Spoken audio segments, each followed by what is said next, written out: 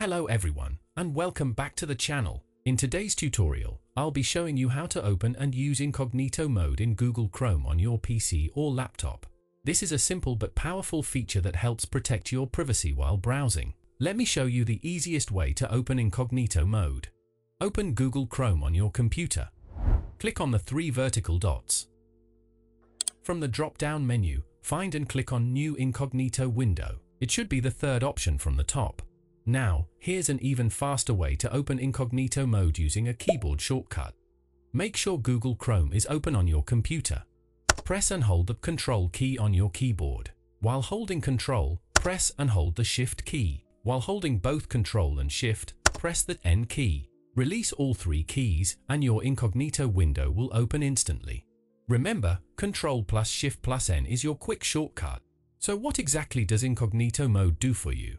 When you browse in incognito mode, Chrome will not save your browsing history. It won't save cookies and site data. It won't save information you enter in forms. However, it's important to understand what incognito mode does not hide. Your activity may still be visible to websites you visit. Your employer or school can still see your activity if you're using their network. Your internet service provider can also see what you're doing online. Incognito mode is great for private browsing on your own device, but it doesn't make you completely anonymous online. Thanks for watching, and I'll see you in the next video.